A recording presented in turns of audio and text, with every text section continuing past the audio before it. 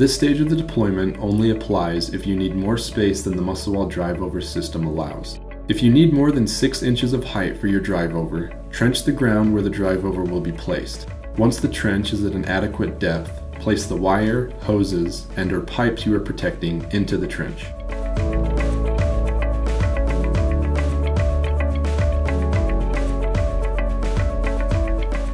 Begin by setting one of the one foot bridges in place at the far end of your drive over section. Ensure that the wider vertical tab is not on the side where your next bridge piece will be placed. If it is, the muscle wall will not be able to fit into place. Set all of the 2 foot bridge pieces that you will need for your particular dimensions of drive over. Ensure that when you set them in place that they are pushed up tightly to the bridge next to it. Once all of your 2 foot bridge pieces are in place, lay the other 1 foot bridge piece. Just like the first one, ensure that the wider vertical tab is not on the side of the bridge that is next to another bridge piece. Connect your first muscle wall to the bridge by setting it in place so that the edge of the wall is flush with the edge of the bridge piece. Connect the rest of the muscle wall necessary for the particular dimensions of your drive over system. Remove one muscle wall at a time and hammer a stake into the pegs on each of the bridge pieces.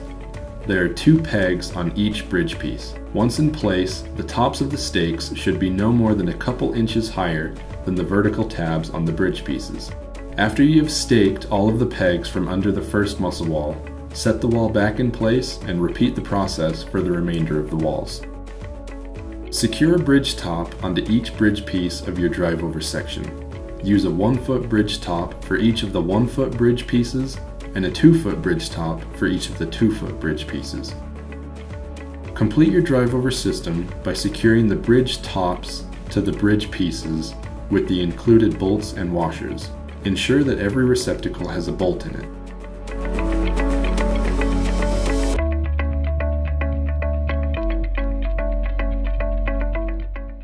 Remove and gather all bolts and washers from the system and store for the next deployment.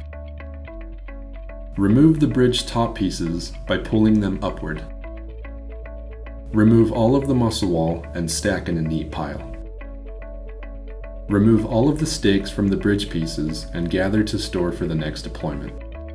Remove all of the bridge pieces and transport to storage or wherever they are needed next. Thank you for watching this SOP video for the Musclewall Drive Over system. Please visit musclewall.com for more videos and instruction or to contact a team member.